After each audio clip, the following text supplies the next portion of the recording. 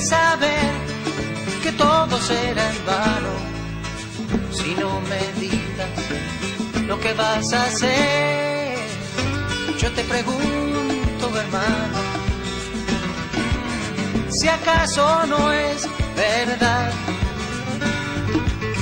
que Dios nos dio la vida para amarnos y ni siquiera sabemos perdonar.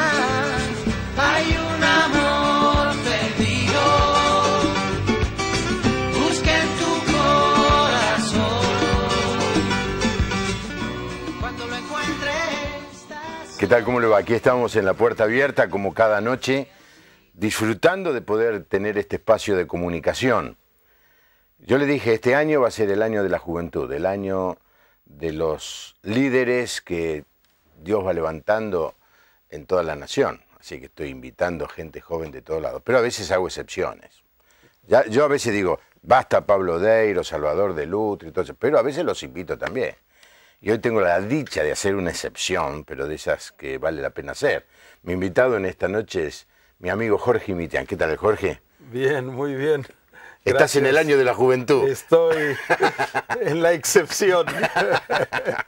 pero que confirma la regla, generalmente Eh, dice. esperemos que sea así. Eh, Jorge, quiero hablar de un tema que yo sé que para vos eh, ocupa un- un fuerte espacio, un gran espacio en tu vida. Y es el tema de la unidad de la iglesia, ¿no es cierto? Eh, que quizás ni siquiera coincidimos 100%, ¿no es cierto? Pero que eh, yo he visto eh, en los últimos 10, 20 años que hemos trabajado juntos, juntos, un, un fuerte a ver cómo decir, una carga muy fuerte en tu corazón sobre buscar la unidad. Y, quiero hablar de eso, porque vos sabés que hay mucha gente que, que ve el programa y una de las cosas que le molesta o le escandaliza o le duele de las iglesias cristianas es, verlas desunidas, separadas, y en algunos casos hasta peleadas. Eh, y yo creo que eso no solamente entristece a la gente, creo que lo entristece a Dios también. ¿Cuándo empezó el- las ganas de, trabajar por la unidad en tu caso, Jorge? Bueno, fue eh, a partir de, del año 67, cuando Dios nos visitó a muchos pastores con el Espíritu Santo, nos llenó con el Espíritu. Eh, esa experiencia espiritual de una renovación del Espíritu Santo en nuestra vida eh, nos llevó al leer la Biblia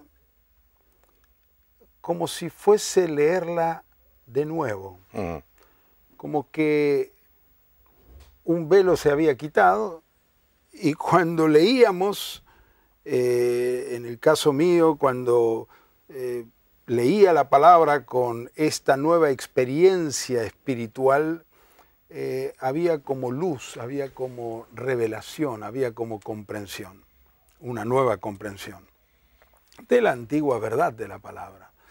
Entonces, eh, en esa, a partir de esa experiencia eh, vinieron la comprensión, por ejemplo, del Evangelio del Reino, que siempre predicamos el Evangelio, pero nunca advertimos que el Evangelio que Jesús predicó es el Evangelio del Reino, eh, el señorío de Cristo, que se predicaba, pero no con la fuerza eh, que está en el Nuevo Testamento, eh, con la claridad. Y así, varios temas comenzaron el Señor a traer. Y entre ellos, uno de los temas fundamentales este, fue la unidad de la iglesia.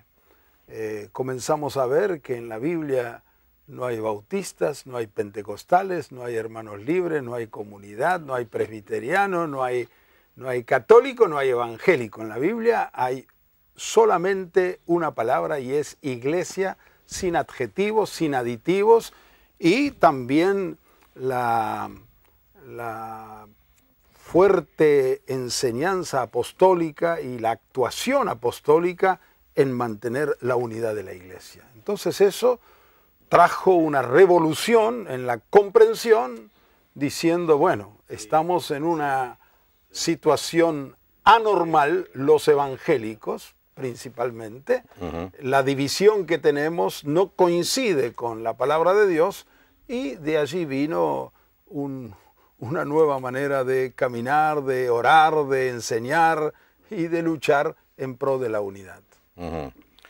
No voy a hablar de los años 67, 68, porque estábamos en, en espacios diferentes, llamémosle así.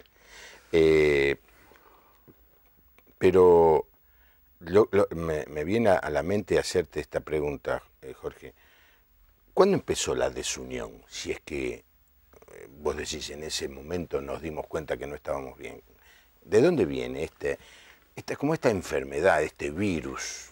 Este, eh, ¿Viste el, chiste que se hace de esos que, están en. Hay tres en náufragos en un en una isla y entonces dos quieren organizarse y el otro dice, yo no sé qué se trata, pero me opongo, ¿no? ¿De, de dónde viene esa, e, e, esa enfermedad a la, división, al distanciamiento, a, juzgarnos los unos a los otros?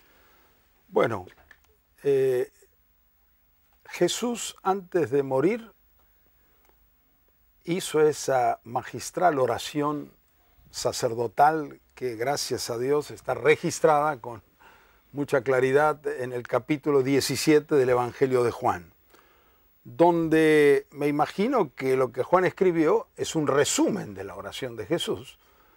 Y en ese resumen, cinco veces repite Jesús que sean uno, así como nosotros, Padre, que todos los que creen en mí por la palabra de, ellos sean uno, así como nosotros, como yo en ti y tú en mí, que ellos sean uno en nosotros.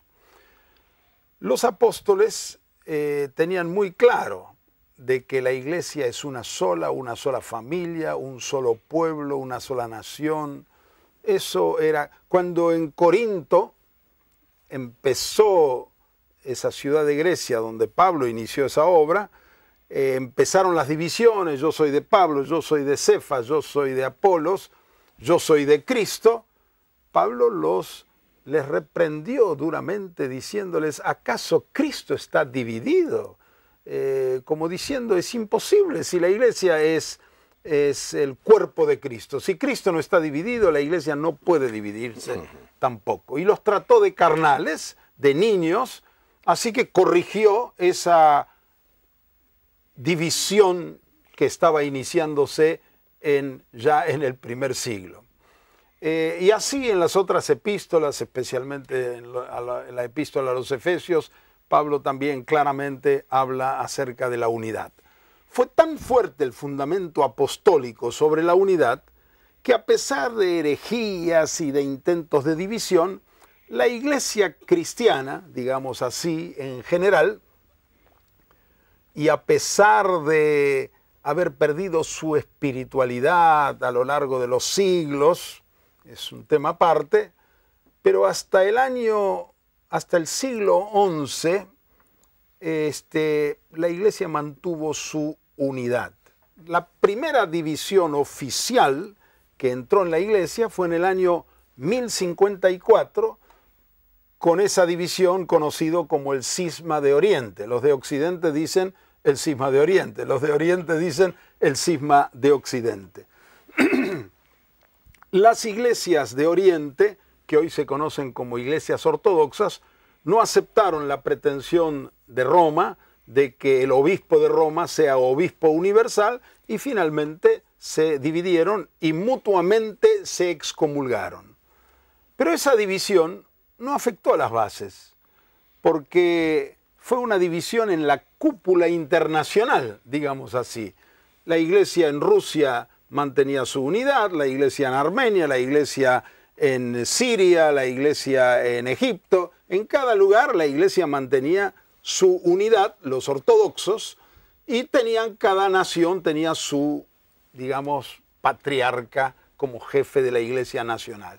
En cambio, Occidente, bajo el obispado de Roma, se organizó en una unidad eh, y ahí surge eh, más claramente el Papa y todo lo que sabemos. Pero como digo, esa división no afectó a la gente, a los pueblos, porque era una división en la cúpula internacional. Pero sí, en el siglo XVI, después de muchos intentos y muchos reformadores que hubo previamente y posteriormente, pero la primera división que afectó a las bases eh, fue la de la reforma protestante. Eh, Martín Lutero creía en la unidad de la iglesia. Él nunca quiso dividir la iglesia. Él quiso ser un reformador dentro de la iglesia de Occidente, conocido como la Iglesia Católica Apostólica Romana. Al leer la Biblia, estudiar la Biblia, vio que en tantas cosas se habían alejado de los principios bíblicos él quiso que hubiera una reforma y un regreso a las enseñanzas bíblicas. No se le dio la oportunidad y el mismo Papa que lo citó este, le dijo, o renuncias a todos esos principios o vas a ser excomulgado. No puedo renunciar a lo que es palabra de Dios, así que Lutero fue expulsado, excomulgado. Y de ahí empezamos, ahí empezó la historia. Si Lutero puede disentir del Papa, dejando los pormenores, otro puede disentir De Lutero. de Lutero. Y otro puede disentir del que disiente con Lutero. Y otro puede disentir del que disiente, del que disiente de Lutero. Y esa es la historia de la iglesia protestante, la iglesia evangélica el ADN de la división está en nuestros genes. Entonces, elogiamos todo el aporte extraordinario que hicieron los reformadores. Gracias a ello, este, aún siglos después, la misma Iglesia Católica cambió.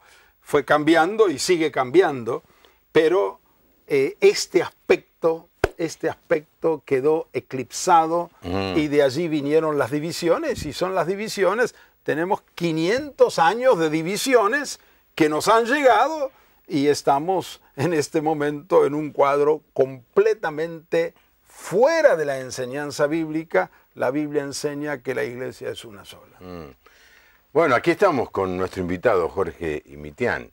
Eh, quisiera abrir, porque el tema es tan interesante y tan profundo, eh, que usted nos escribiera, eh, por supuesto va a llegar el email y, se lo vamos a dar a Jorge Mitián más tarde, en todo caso, pero vamos a poner, allí está la dirección de email de nuestro programa, producción canal, arroba la puerta abierta Mucha gente nos escribe. Eh, la verdad, tengo que decirte, Jorge, es para felicitar, elogiar y todo eso, y imagínate, bienvenido, bienvenido. Pero me encanta a mí cuando alguien escribe para discrepar. Porque el gen que tiene el ADN, me, gusta la, confrontación. porque, porque no puedo creer que todo, todo el mundo, todas las personas que estén viendo el programa, estén 100% en lo que estamos diciendo. Ah, entonces algo no anda bien. Porque entonces querría decir que estamos en la verdad perfecta, absoluta y final. Y a mí me gusta cuando la gente expresa su opinión y discrepa. Usted sabe y yo lo, yo lo puedo decir, porque yo discrepo con Jorge en un montón de cosas. Y él sabe, y yo sé. Pero somos amigos. E, el, tener Pero diferencias. Estás exagerando, no es un montón, era alguna cosa. Alguna cosa. Eh, eh, eh, pero el hecho ese de que no coincidamos en, en nada merma el afecto y la relación que tenemos, ambos trabajando en búsqueda de la unidad. Y esta es la pregunta que te iba a hacer. Hay, algunos que preferencian sostener y defender la verdad. Y otros preferencian sostener y defender la unidad. la verdad en un lado, la unidad en otro. Claro, y hay que, y hay que respetar esta idea, esta tensión que hay, porque a veces vos decís, bueno, yo en, en bien de la unidad me acerco, pero hay, hay cosas, hay cosas que no puedo aceptar, ¿no es cierto? Y entonces están los que no, no nosotros vamos a defender a muerte la unidad, la sana doctrina y, no nos juntamos con nadie que no piense igual que nosotros, en todo. Tiene que pensar en nosotros 100%, si no, fuera. En ese espacio que hay, ¿en, en qué, en qué lugar estás vos? ¿Qué- auto, autoelogiate si querés, yo después te corto este, te el elogio, pero este, eh, vos, vos vivís esa tensión también. Mira, para llegar eh, a eso, a responder eso, voy a empezar un poquito más atrás. Gracias a Dios, en nuestra generación se ha producido un punto de inflexión. Las líneas divergentes que vienen desde la reforma para acá sufrieron un quiebre y se produjeron las líneas convergentes estamos en este momento en ese punto, eh, en ese desarrollo, en ese progreso. No podemos 500 años de divisiones y de doctrinas particulares eh, resolverlas en un año, en 10 años, en 20 años. Va a hacer falta tiempo, pero vamos caminando. Vamos caminando. Vamos caminando. Entonces va a llegar un momento cuando las líneas convergentes se van a unir finalmente. Es un proceso. Ese proceso está eh, bien señalado por Pablo en el capítulo 4 de la epístola a los Efesios. Allí se habla de tres niveles de unidad. El primero es la unidad del Espíritu. Dice que os ruego que andéis como es digno de la vocación con que fuisteis llamados, con toda humildad, mansedumbre, soportándoos los unos a los otros con paciencia, en amor, solícitos a guardar la unidad del Espíritu en el vínculo de la paz.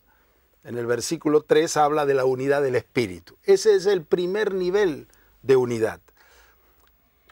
El segundo nivel es la unidad de la fe, que habla de eso en el versículo 13 del capítulo 4. Dice, hasta que todos lleguemos a la unidad de la fe y del conocimiento del Hijo de Dios a un varón perfecto. Entonces se está hablando de un proceso hasta que todos lleguemos. Entonces, el primer nivel donde podemos tener unidad es la unidad del Espíritu. Vos tenés el Espíritu Santo, yo lo tengo, vos sos del Señor, yo soy del Señor, está el amor de Dios en nuestro corazón y para poder funcionar en ese primer nivel de unidad hace falta humildad, mansedumbre, no ser sabio en mi propia opinión, hay divergencias, discrepancias, hay que saber soportar, también hay problemas de carácter, problemas de, bueno, nuestras debilidades humanas, hay que soportar con paciencia y en amor, pero tenemos que avanzar y profundizar esa comunión del Espíritu. En esa comunión del Espíritu, cuando hay amor, hay paz entre nosotros, hay amistad, podemos avanzar hacia la unidad de la fe. ¿Qué es la unidad de la fe? Es la unidad de lo que creemos.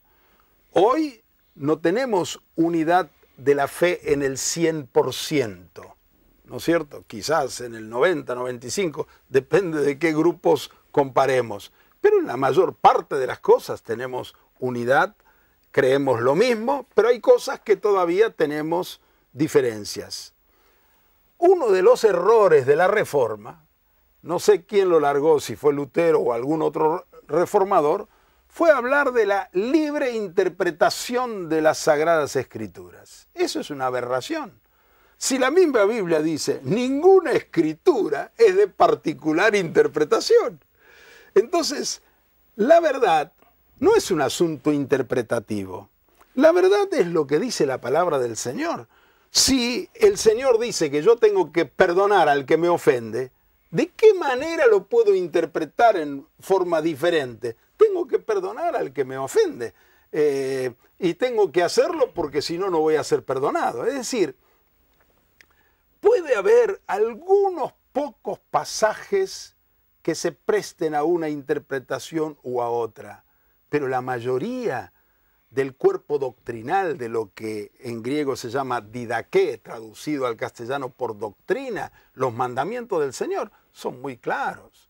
Eh, y el querigma apostólico, que es el mensaje revelado a los apóstoles y proclamado por los apóstoles, está muy claro.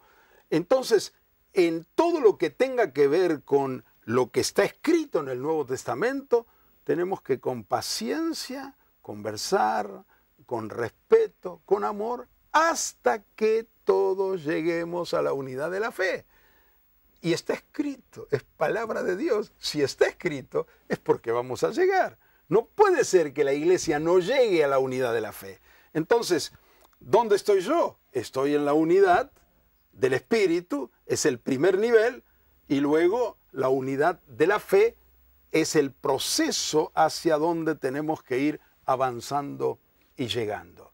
Y luego en el versículo 16 del capítulo 4 de Efesios habla de la unidad del cuerpo. Dice, crezcamos en todo en aquel que es la cabeza, el versículo 15, Cristo, de quien todo el cuerpo, bien concertado y unido entre sí por todas las coyunturas que se ayudan mutuamente según la actividad propia de cada miembro, recibe su crecimiento para ir edificándose en amor. Todo el cuerpo bien concertado y unido entre sí. Hoy la iglesia evangélica es un montón de cuerpitos. No estamos unidos. Para llegar a ese tercer nivel de la unidad, que es la unidad orgánica de la iglesia, necesitamos empezar en el primer nivel, que es donde estamos ahora, la unidad del espíritu, avanzar hacia el segundo nivel, que es la unidad de la fe, y una vez que tengamos la unidad de la fe, va a ser posible que podamos funcionar como un solo cuerpo en cada ciudad, en cada nación y en el mundo entero. Mm. Bueno, aquí estamos. Y se vienen a hacer una excepción, ¿no le parece? Eh, no creo que haya mucha gente que tenga esta contundencia al expresar esto como Jorge Mitián. Uno de sus grandes libros es eh, Jesucristo es el Señor. Eh, recomiendo su lectura. Eh, tenés un libro sobre la unidad también.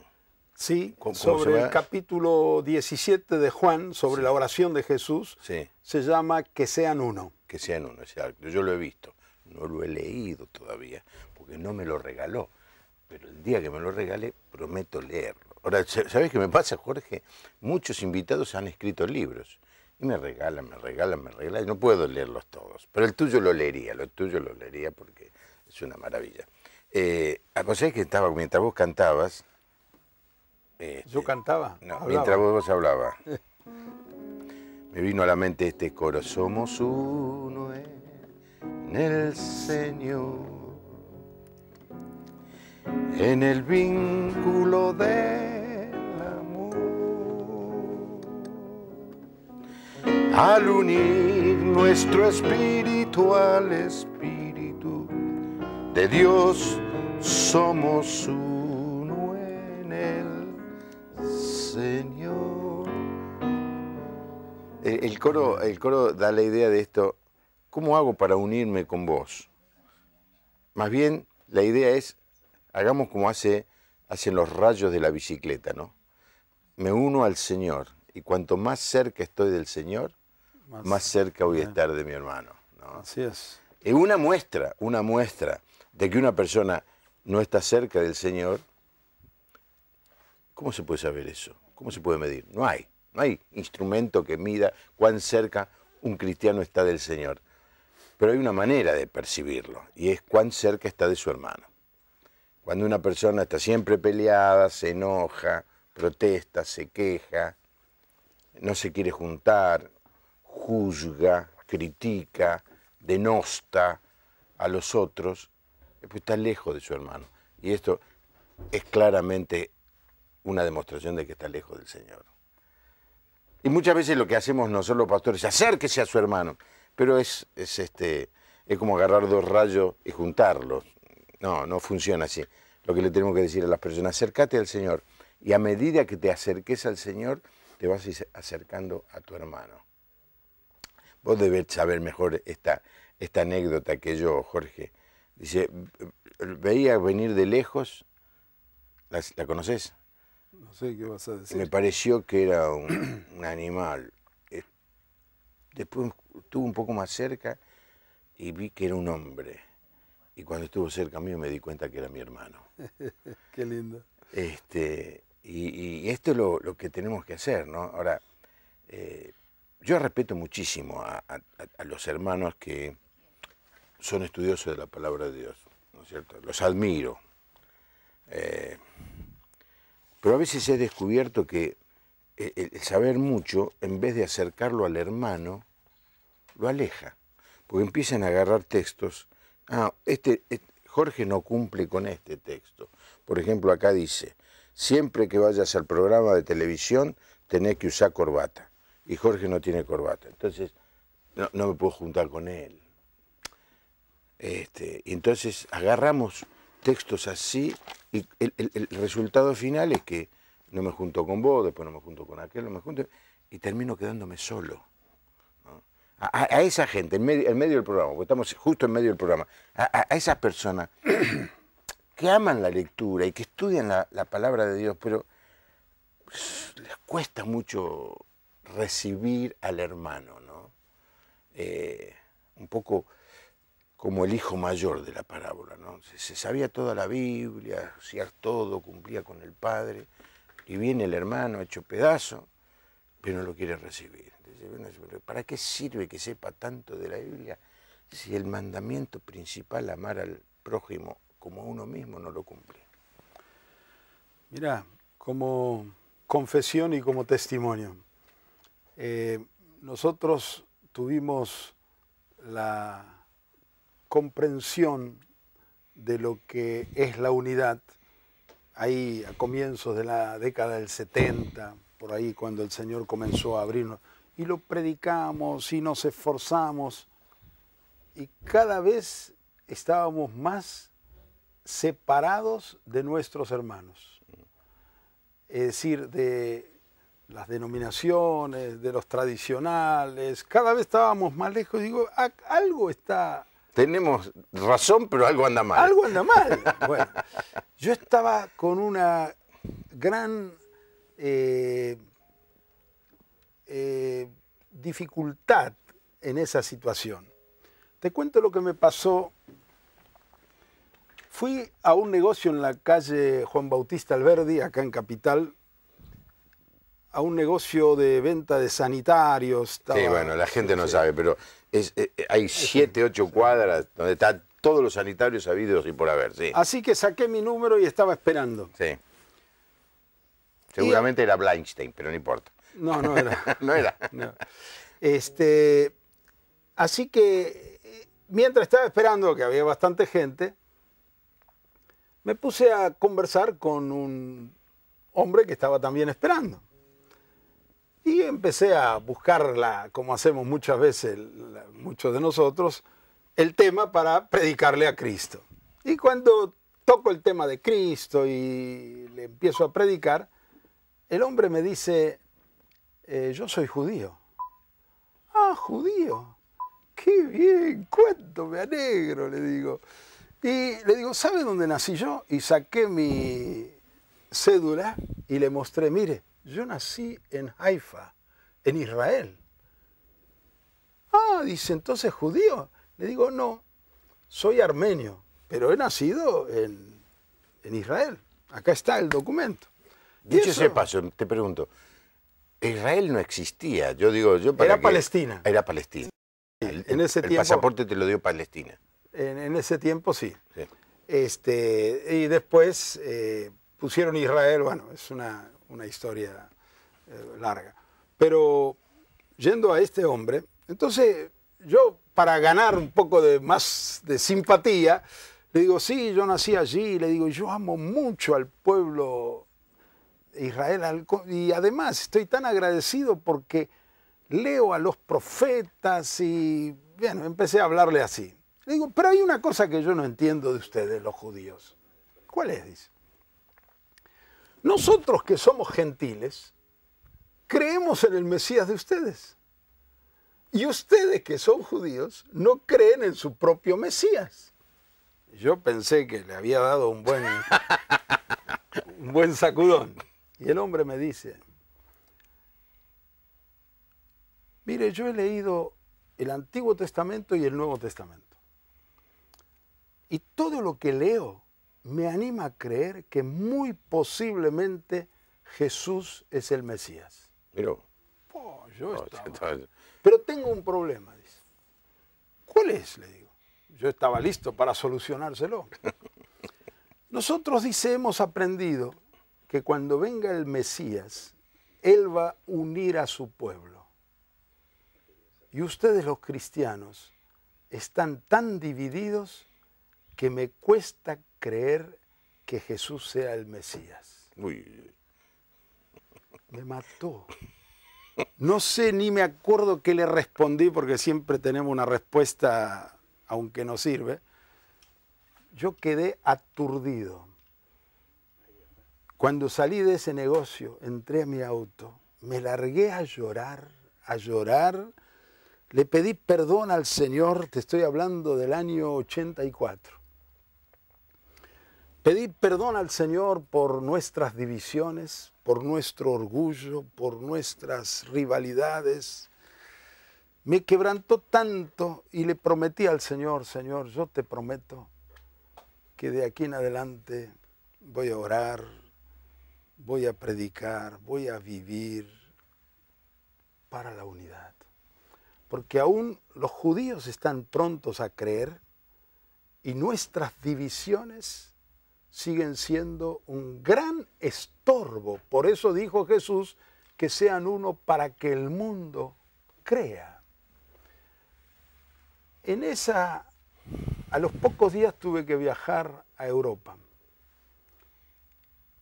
Hicimos una gira por varios países, el último país fue España. En una de las sierras de Córdoba había un retiro espiritual que nos invitaron. Yo estaba con Iván Baker, eh, amigo tuyo, de tu padre, y estábamos allí. Y durante el momento previo a la predicación, un grupo chico, dos hermanas, comenzaron a cantar Juan 17 en un estilo flamenco y repetían que seáis uno, solamente uno. Y casi varias partes de Juan 17 cantaban. Cuando ellas cantaban esa canción, yo tuve como una revelación. Vi, sentí el dolor del corazón del Padre por nuestras divisiones. Lloré, lloré en esa reunión en forma tremenda y me acordé lo que me había pasado hacía pocos días en el auto. en el auto, con el judío en el negocio. Cuando volvimos de, de Europa, yo ya tenía claro que tenía que meterme a leer Juan 17.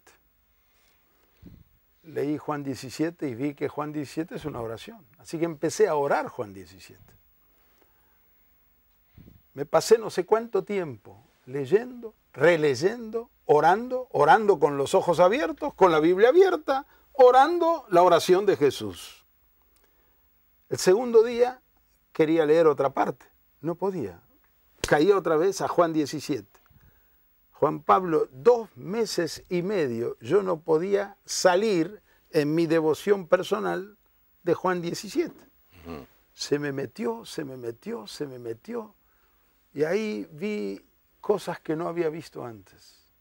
Una de las cosas que vi es que la unidad se construye dentro y no fuera. No es un esquema externo. Porque dice, Jes- dice Jesús en su oración, la gloria que me diste les he dado para que sean uno, así como nosotros. Yo en ellos y tú en mí, para que sean perfectos en unidad. Quiere decir que la presencia de Jesús en nosotros, habitado por la plenitud del Padre, es lo que desde adentro va a ir construyendo esa perfecta unidad. Mi vida cambió. Yo recuerdo que los años siguientes tuve que ir a pedir perdón, tuve que ir a pedir perdón a muchas personas, pastores, líderes.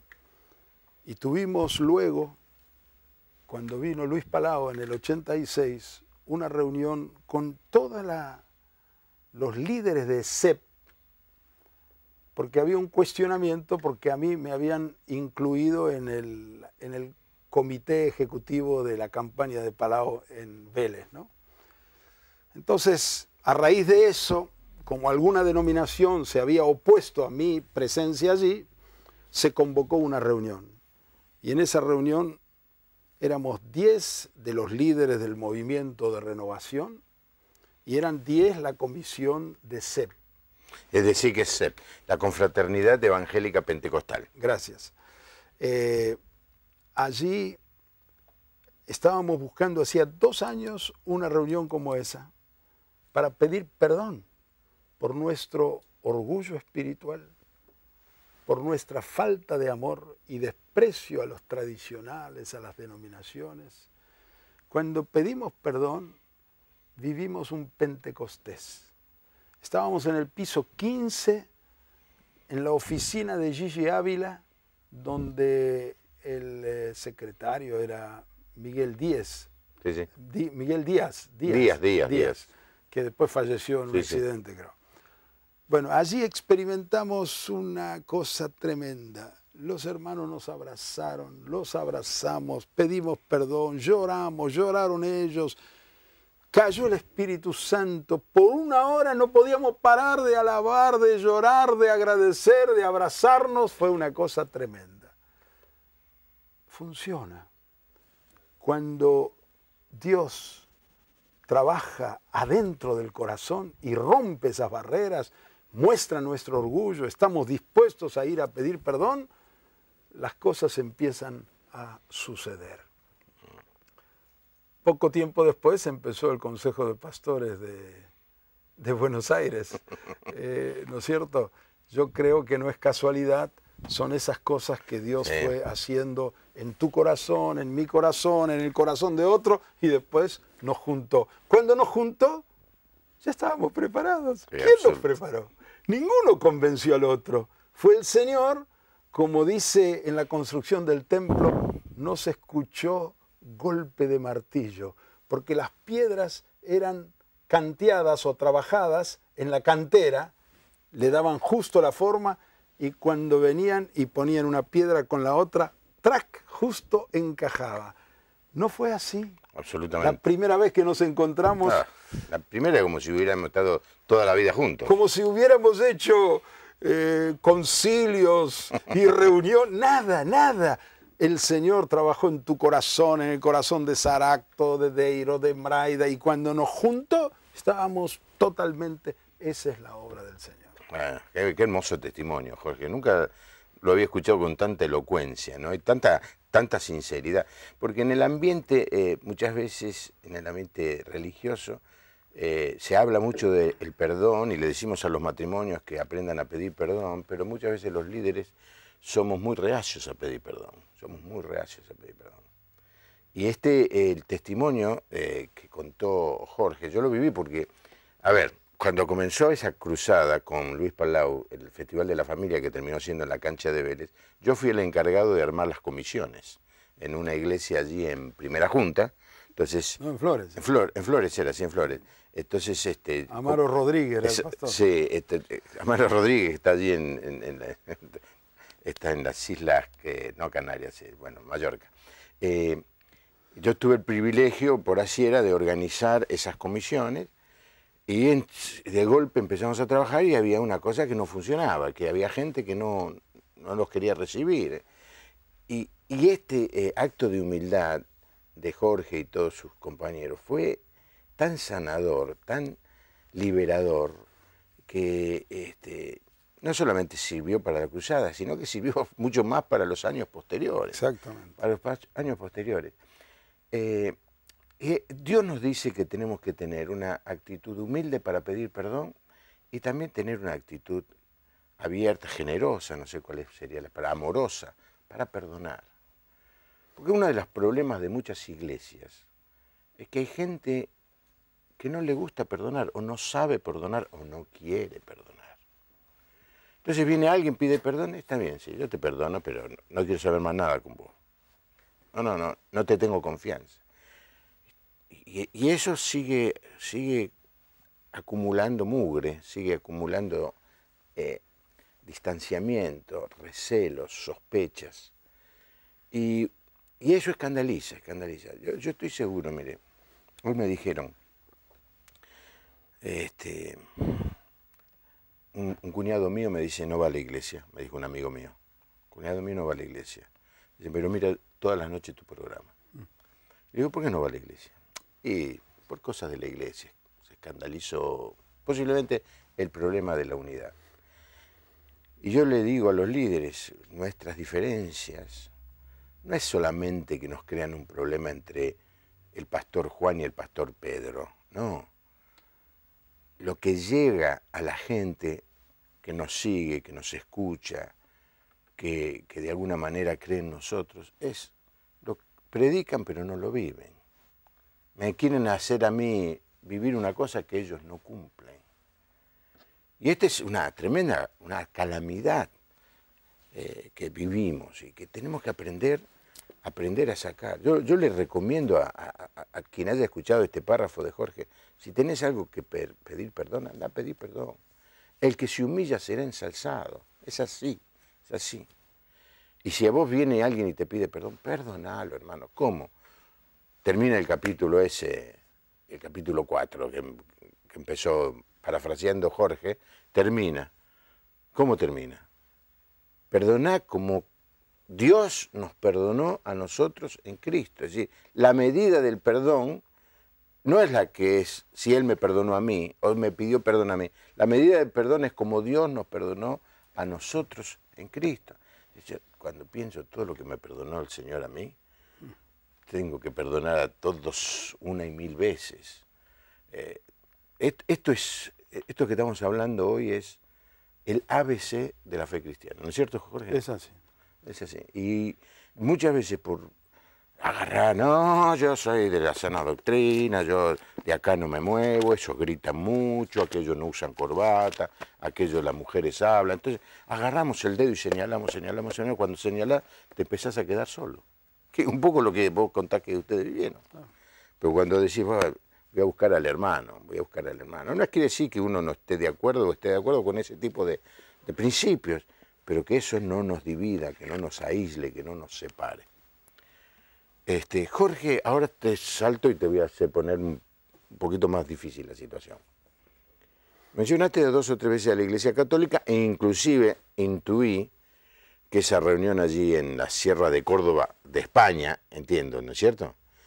Era un grupo católico. No, No, no no, era un grupo evangélico. evangélico. Bueno, eh, porque hay mucha gente católica que está viendo el programa y eh, a la que respeto muchísimo.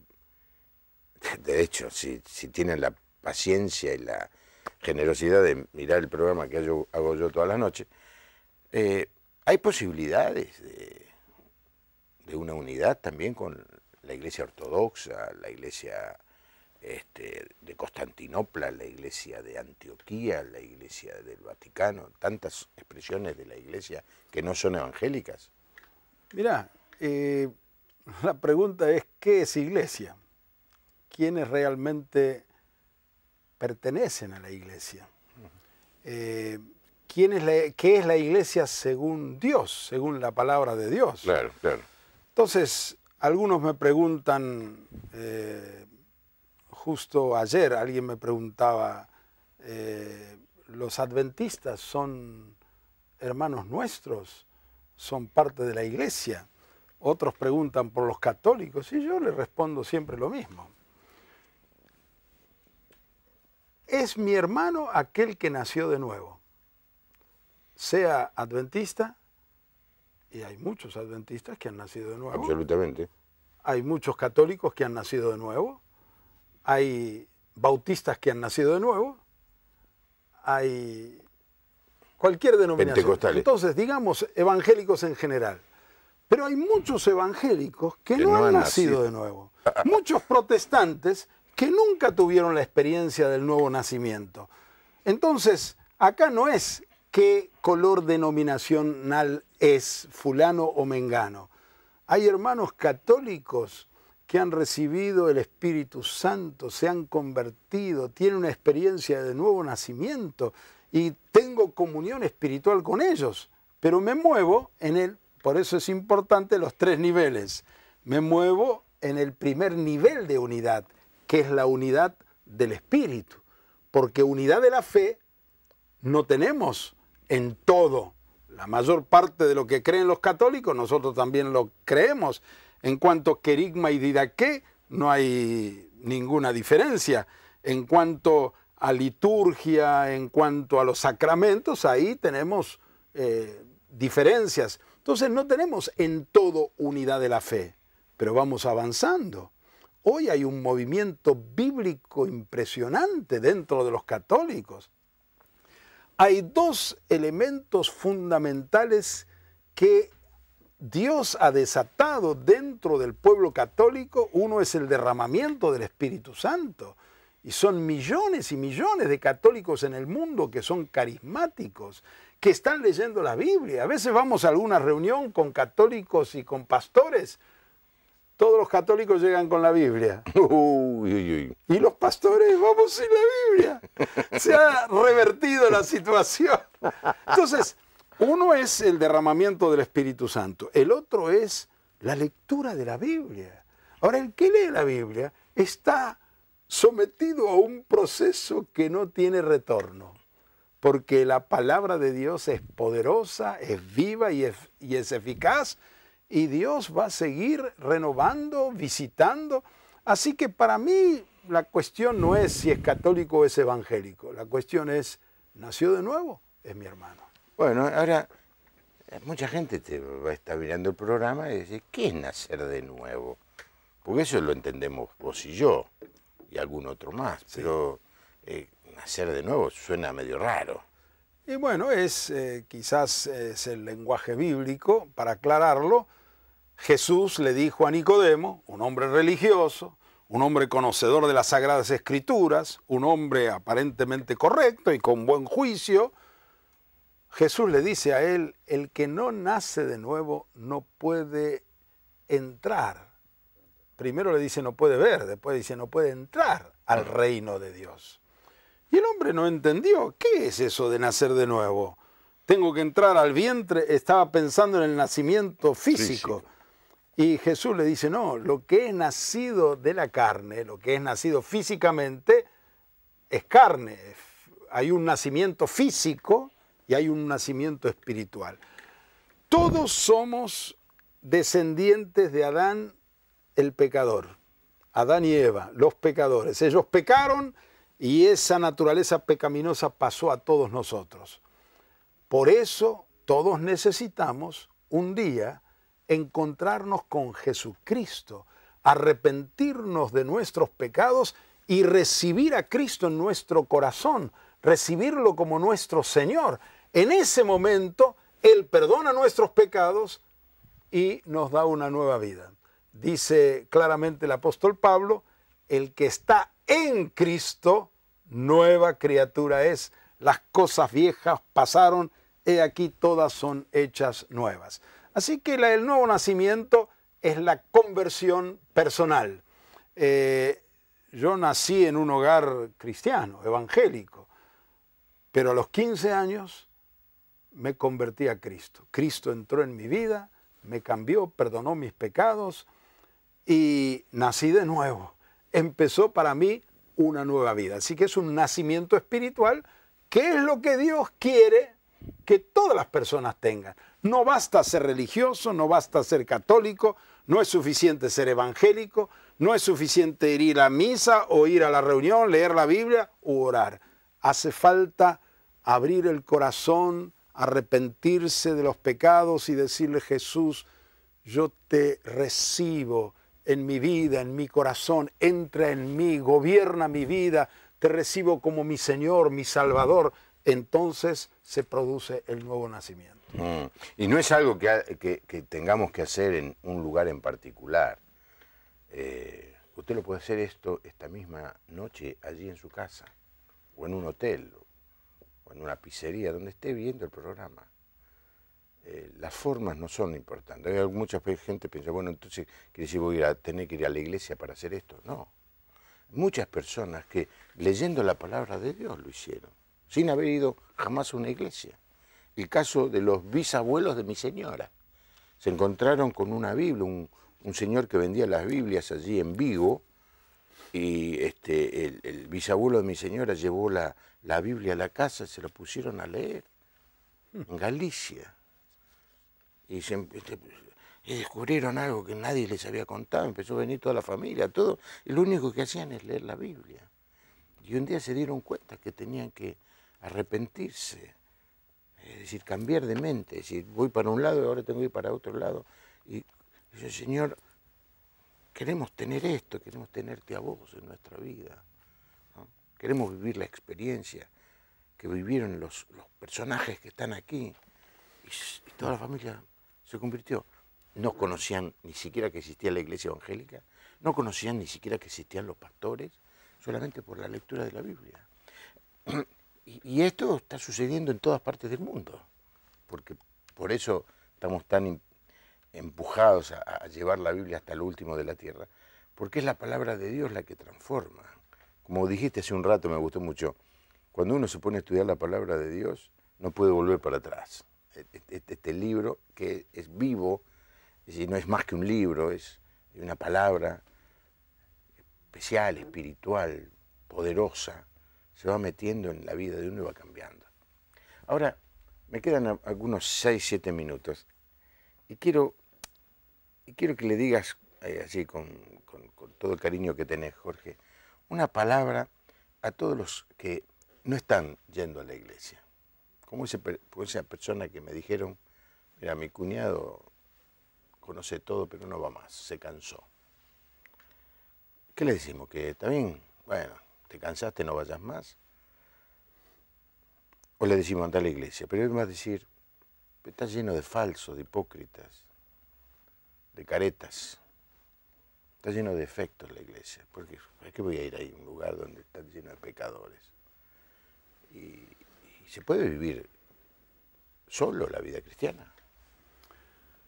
No, obviamente no.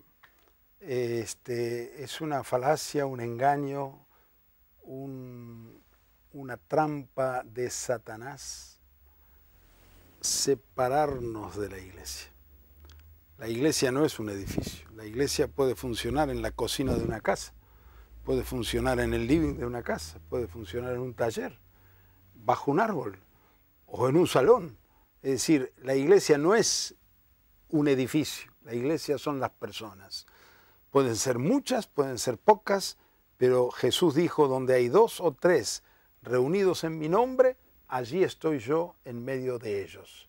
Y si está Jesús, ya es iglesia. Entonces, separar una brasa del- de la fogata, del fuego, indefectiblemente se va a apagar. Y eso es lo que quiere. No se puede encender fuego con una sola leña, tiene que haber dos o tres o más. Y entonces ahí sí se enciende.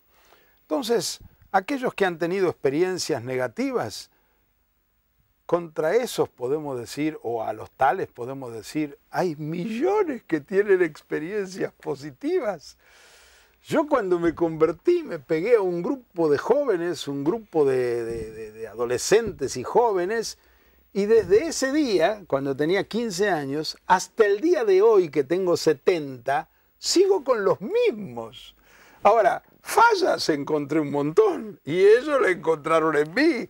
Pero esas fallas no son un motivo para alejarme de ellos. Al contrario, si puedo ayudarles con amor cristiano, les puedo corregir. Muchas veces me he acercado a alguien para decirle, mira, esto que estás haciendo está mal.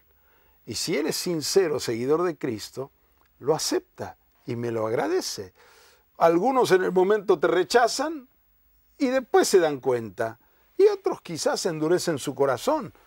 Pero nunca dejé de congregarme y puedo contar miles y múltiples bendiciones, pero aquel que por una causa u otra, o porque alguien le ofendió, o porque alguien hizo algo mal, se aleja, sí, hay algunos que son falsos, son hipócritas, pero son los menos. En todas partes son los menos. La mayoría aman al Señor, obedecen su palabra, no son perfectos, porque si encontramos la iglesia perfecta, no nos dejan entrar, porque somos imperfectos.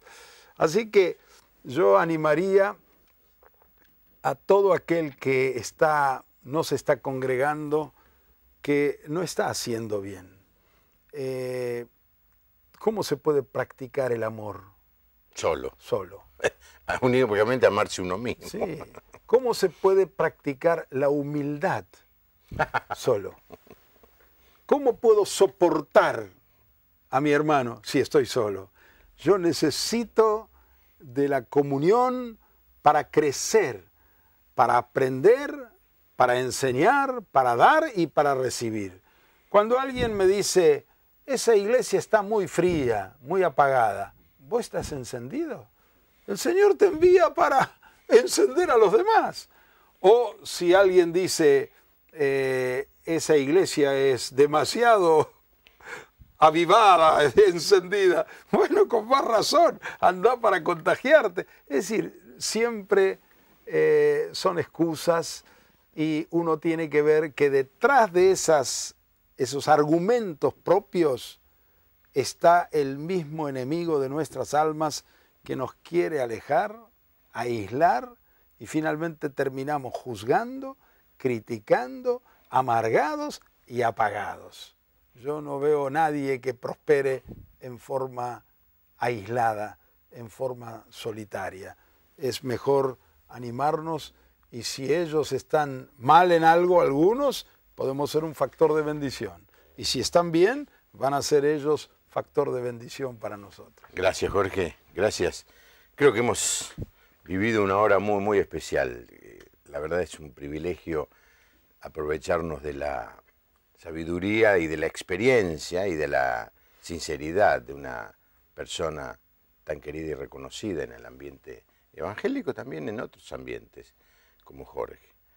Pero lo mejor de todo es cómo nos quedamos después de este programa.